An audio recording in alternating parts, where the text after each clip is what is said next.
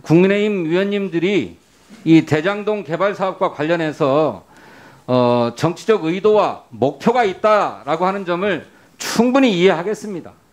근데 그것은 국정감사 현장이 아니라 다른 곳에서 하셔도 얼마든지 할 수 있는 일인데 이 마스크에 구호를 적어오고 리본을 달고 나오셔서 이렇게까지 하셔야 되겠습니까?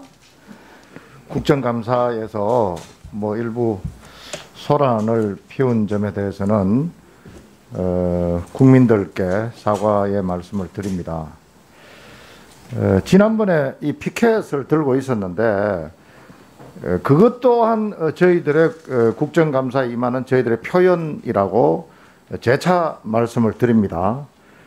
어, 오늘 이 마스크가 어, 뭐 진일보된 게 아니고 피켓에서 어, 대폭 양보를 해서 여러분들이 그게 여당에서 여당 의원님들이 워낙 피켓 때문에 벌벌 떠니까 마스크로 저희들 좀 양보를 해서 원활한 의사 진행을 위해서 어, 양보한 겁니다. 양보한 거고 그 다음에 어, 국민들이 보고 있습니다.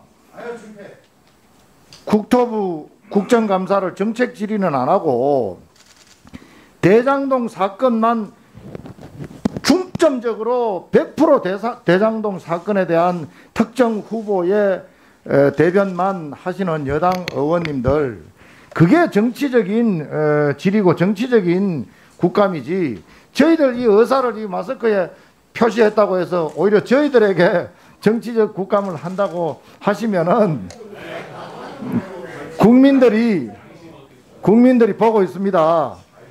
정말 지나가는 소가 웃을 일입니다. 이 한마디 했는 게 이게 뭘, 뭘 품위를 떨어뜨린다고 여러분들이 1년 동안 국토부 국감 정책 감사는 안 하고 어 종일 말이야 내내 특정 후보 대변하고 대리해서 이야기하는 정치 질문 그것 좀 삼가해 주십시오. 진짜 보기가 보기가 부끄럽습니다.